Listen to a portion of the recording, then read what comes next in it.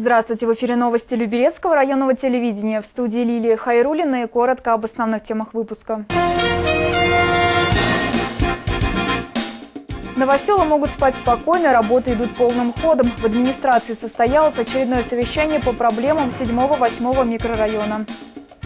Доброта объединяет. В гимназии номер 41 вручили ключи от квартиры трем выпускникам Томилинской школы-интерната «Наш дом». Люберчане ждут чуда. В Центральной библиотеке имени Сергея Есенина прошла первая встреча детей с главными новогодними персонажами. А теперь обо всем этом более подробно. Игорь Кахан оставляет пост заместителя главы администрации города Люберцы, министра правительства Московской области по долевому жилищному строительству, ветхому аварийному жилью Александр Коган подписал приказ о назначении его на должность своего заместителя. Игорь Кахан проработал в администрации Люберец ровно два года. Во время его работы был утвержден генеральный план развития города Люберца до 2035 года. Утверждена программа по реконструкции микрорайона 35Ж по улице Кирова с расселением семей из ветхого жилого фонда. Проведены публичные слушания по реконструкции микрорайона 3, 3А и 1, 1А. Игорь Кахан удостоен звания «Почетный строитель России», а также награжден знаками губернатора Московской области «Благодарю» за труды и усердие, за полезные. Кто кто займет его место в городской администрации, пока неизвестно. Новоселы могут спать спокойно, работы идут полным ходом. В администрации состоялось очередное совещание по проблемам 7-8 микрорайона. По-прежнему говорили о строительстве социальных объектов и электроснабжении. Все подробности далее. Первый вопрос на совещании строительства социальных объектов. Руководитель администрации Люберецкого района Ирину Назареву интересовало, будет ли сдан в этом году детский сад. 59-й сад идет полным ходом, хотя вызывает опасения сети, которые наружные. Просто там еще много свай бить. Вот. Не знаю, успеют, не успеют. Много, много еще свай. Потом там ростверки, приступили к ростверкам, ну все это там дорогу надо перекладывать, там довольно серьезно это. По вопросам освещения в 7-8 микрорайоне, по словам заместителя руководителя администрации города Люберца Алексея Передерка, волноваться не стоит. Здесь все идет по плану. Комсомольский проспект работать будет э, по схеме строительства ну, в зимний период, а в э, январе месяце окончательный договор на постоянное подключение будет заключен с автодором. Работы по подключению микрорайона к подстанции Руднева будут завершены к 24 декабря. Об этом доложил собравшимся представитель группы компании ПИК Игорь Фисун. Ну, Сегодня-завтра мы получим последнее согласование центральных электрических сетей. Значит, до конца недели должны получить справку о выполнении технических условий, должны получить справку акт разграничения баланса принадлежности. Дальше мы заключаем договор с энергосбытом вот, на отпуск э, электрической энергии. Впрочем, по словам гендиректора стройэлектросети Сергея Зелинского, жилые корпуса застрахованы от длительных перебоев с электроснабжением. Техническая возможность их подключения к Руднево в случае исчезновения питания со стороны 122-й подстанции есть уже сейчас. Такая операция хоть и будет нештатной, но займет не так много времени. Лилия Хайрулина, Олег Лобанов, Люберецкое районное телевидение. Новый год – самый яркий праздник в году. По традиции позитивное настроение принято усиливать пиротехникой. Однако пожарные предупреждают. Будьте осторожны и аккуратны. И внимательнее читайте инструкцию подобных товаров. Подробнее расскажет Михаил Мадро. Пиротехнические изделия уже давно полюбились жителям России. Петарды, фейерверки, салюты, ракеты, гирлянды являются обязательным атрибутом, сопутствующим встрече Нового года. Наряду с этим пополняется и печальная статистика возгораний, пожаров и несчастных случаев. Так как же обезопасить себя, своих близких и друзей от неприятных последствий, отмечая любимый праздник? Ну, что касается использования пиротехнических изделий, так называемых петард, фейерверков, салютов, бенгальских огней, то категорически необходимо запретить их использование, во-первых, в закрытых помещениях, на расстоянии ближе 20 метров э, к жилым постройкам, к зданиям, к сооружениям, у высотных домов, то есть специально отведенных для этого площадках. А что касается использования гирлянд, э, то необходимо, конечно, и касается это пиротехнических изделий, использовать их только фабричного производства. Павел Иванов призвал не пользоваться так называемым самопалом, ведь данная продукция может в любой момент выйти из-под контроля, испортив вам праздник. Соответственно, каждый для себя должен понять, что он хочет увидеть праздник Новый год или больничную койку. Это первое. Ну и второе, конечно, вот э, внимательно надо читать рекомендации, инструкции, которые на каждом пиротехническом изделии, на каждом, э, на, на каждой вот этой продукции указаны инструкции по применению. Очень часто пожары и несчастные случаи с применением пиротехники происходят из-за неправильного обращения с ней. Отдыхающим просто лень прочитать инструкцию, из-за чего и происходит ЧП домашнего масштаба. Но использовать надо с умом, скажем так. Вот опять же, открытая площадка, э, расстояние э, на большом расстоянии от э, жилых строений, построек, жилых домов, объектов и, соответственно, в строгом соответствии с рекомендациями, инструкциями, которые указаны на данных изделиях. Больше всего пиротехнику любят дети, и поэтому особая ответственность ложится на их родителей, которые должны строго следить за тем, чтобы хлопушки, бенгальские огни, петарды и салюты не попали в руки малышей, подчеркнул Павел Иванов. Михаил Мадро, Роман Шишкин, Люберецкое районное телевидение. Сейчас прервемся и продолжим наш выпуск сразу после короткой рекламы на ЛРТ.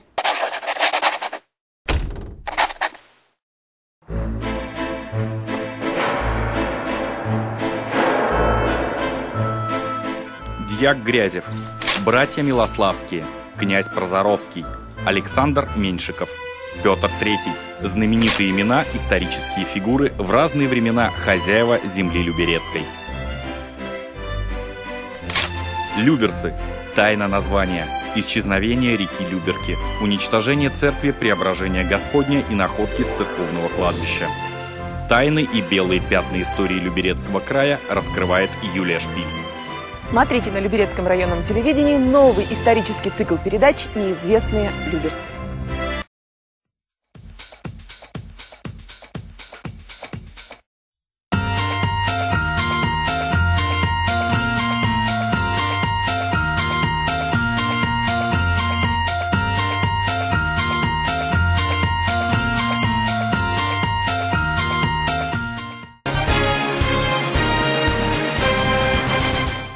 Доброта объединяет. В гимназии номер 41 вручили ключи от квартир трем выпускникам Томилинской школы-интерната «Наш дом». Дружба двух учебных заведений началась пять лет назад благодаря благотворительному проекту «Город мастеров». Сделанные руками гимназистов подделки позволяют им заработать средства для поддержки сирот, чтобы те смогли обустроить свое жилье. О том, как дружба и доброта помогают жить, в нашем следующем сюжете. Сначала бурные аплодисменты, затем торжественный прием в актовом зале. И все это в адрес директора Томилинской школы-интерната «Наш дом» Галины Первеевой и выпускниц Марии Масловой, Анастасии Романовой и Марии Павловой. Они виновники торжества, к которому основательно подготовился коллектив гимназии 41. Вручение ключей детям-сиротам в стенах этого учреждения в этом году проходит уже второй раз. За этот год уже четверо выпускников нашего дома получили квартиры.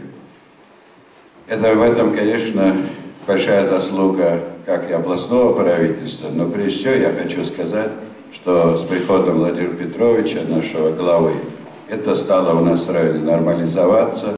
За два года гимназисты заработали порядка 400 тысяч рублей. Эти деньги пошли на обустройство квартир для детей, оставшихся без родителей. Такое начинание поддержали не только руководители города и района, но и предприниматели и депутаты. Программа обеспечения жильем выпускников специализированных учреждений и детей, находящихся под опекой, заработала в 2006 году. И с тех пор, благодаря правительству Московской области, 35 молодых люберчан справили новоселье. В этом году нам было выделено средства на приобретение всего лишь трех квартир. Но в связи с тем, что Люберецкий район выполнил поставленную задачу в короткие сроки, правительство области забрали средства у тех районов, которые не справились с поставленной задачей, и у нас стало возможным приобрести квартиры, вот сегодняшние три квартиры, которые мы будем вручать. Поэтому Люберецкий район, скажем так, выполнил поставленную задачу, и сегодня наши именинницы получат ключи от своих квартир. Нам это очень приятно. Девочки были взволнованы и смущались от такого внимания. Благодарили всех, кто помогал им. Хочу выразить огромную благодарность э, Владимиру Петровичу, Ирине Геннадьевне, Аркадию Макаровичу за оказанную помощь и подарки. И, конечно же, детям 41-й школы, школы. Спасибо вам. В числе тех, кто оказал помощь детям, был и депутат Совета депутатов города Люберцы Мамед Азизов. Он постоянно участвует в благотворительных акциях гимназистов. А 41-я гимназия взяла и решила маленькие, но необходимые троим детям вопросы. Понимаете, если мы в России просто приблизимся к каждому человечку, каждой сироте и внесем свою маленькую лепту, и не надо будет отдавать ни американцам, ни финнам, никому. Директор гимназии номер 41 Аркадий Маркаров вручил новоселам сертификаты на приобретение бытовой техники. Такие подарки весьма кстати к Новому году и пригодятся молодым хозяйкам. Екатерина Захарова, Валентина Верченко, Дмитрий Куликов, Люберецкое районное телевидение. В морозные декабрьские дни маленькие люберчане ждут чуда. В библиотеке имени Сергея Есенина прошла первая встреча детей младшего возраста с главными новогодними персонажами – Снегурочкой и Дедом Морозом. В атмосферу настоящей зимней сказки окунулась и Ольга Чуканова. Я Снегурочка, друзья! Здравствуйте! Здравствуйте, мои хорошие! Прежде чем перед ребятами появилась настоящая Снегурочка, в одном из залов Центральной городской библиотеки имени Сергея Есенина на протяжении получаса разгорались настоящие страсти. Сбить с толку учеников первых классов Люберецкой гимназии номер один пытался другой сказочный персонаж. Я Снегурочка! Стройная фигурочка! Вот так началась первая встреча любимых новогодних героев с самыми маленькими жителями города Люберцы. Всего до наступления 2013 года в Центральной библиотеке имени Есенина пройдет четыре подобных праздника. Ну вот вы видели, наверное, ребята получили море удовольствия, потому что артисты, которые сегодня у нас в гостях, э, сумели разбудить у них что-то. Хотела бы обратить ваше внимание – вы знаете, вот мероприятие мероприятием, но нам пришла в голову такая мысль в этом году оформить выставку «Игрушки нашего детства». Вот. И мы не ожидали такую реакцию. Не детей. Дети посмотрели, отошли, а взрослых людей. Они не отходят от этой выставки, потому что, наверное, она в них пробуждает воспоминания о тех елках, которые были в их детстве. Ученице первого класса Кате Лебедевой больше всего понравилась праздничная атмосфера, царящая здесь. Радостно там, весело. Все танцуют, поют, прыгают. Я написал письмо Деда Мороза, я заказал себе электрическую, электрическую собачку на платке. Одним словом, здесь, в Доме книг, в канун Нового года, каждый может найти для себя что-то интересное, окунуться в атмосферу предстоящего праздника и узнать много нового. Ольга Чуканова, Олег Лобанов, Люберецкое районное телевидение. И к новостям спорта. За три месяца работы результат удовлетворительный. Главный тренер баскетбольной команды «Триумф» Василий Карасев подвел итоги уходящего года и назвал лучших игроков. Подробности далее. Баскетбольный клуб «Триумф» начал этот сезон с хороших результатов. Игроки вышли в следующий этап Еврокубка, при этом не проиграв ни одного матча. Неудачно складывается лишь турнирная таблица ВТБ, где люберчане занимают седьмую строчку.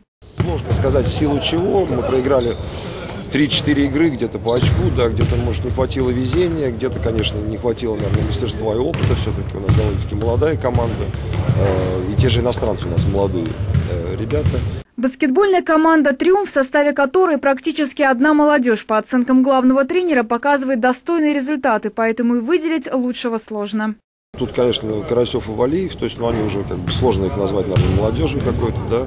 А, был очень хороший отрезок э, у Лазарева, то есть, ну, может быть, в плане опять какой-то молодости, пока, наверное, сложно э, долгий промежуток времени находиться на каком-то высоком уровне. Э, очень рад за Кулагина. Э, последние игры сейчас Вихровск хорошо сыграл. На каждой игре ребята стараются выкладываться по полной программе. Одним из таких был матч, когда люберчане одержали победу над Питером, Лиманом и ВЭФом. А из выездных можно отметить игру с немцами, где играла одна молодежь без лидеров триумфа и оправдала надежды тренера и привезла победу домой. Мы должны играть под защитой, потому что все-таки, наверное, на данный момент пока класса какого-то в нападении не хватает игрокам. И самое главное, играть и выкладываться на 100%. Сейчас баскетболисты «Триумфа» готовятся к встрече Казанского «Уникса». Ребята проведут последний матч в этом году 21 декабря. Но уже 6 января в 18.00 все болельщики смогут вновь насладиться настоящим баскетболом. В этот день на домашнем паркете люберчане примут игроков ВЭФа из Латвии. Лилия Хайрулина, Олег Лобанов, Люберецкое районное телевидение. На этом наш выпуск завершен. Через минуту на нашем канале смотрите программу «Неизвестные люберцы». Далее эфир ЛРТ продолжит программа «Открытый диалог». Гость студии – начальник управления здравоохранением Люберецкого района Виктор Юдаев. Напомню, что свои новости из жизни Люберецкого района вы можете сообщать нам по телефонам редакции 8 498 642 1950 и 8 498 642 1952, а также оставлять их на нашем сайте www.lrt.tv где вы также можете посмотреть выпуски всех наших программ. В студии была Лилия Хайрулина. Всего вам доброго и до встречи в эфире.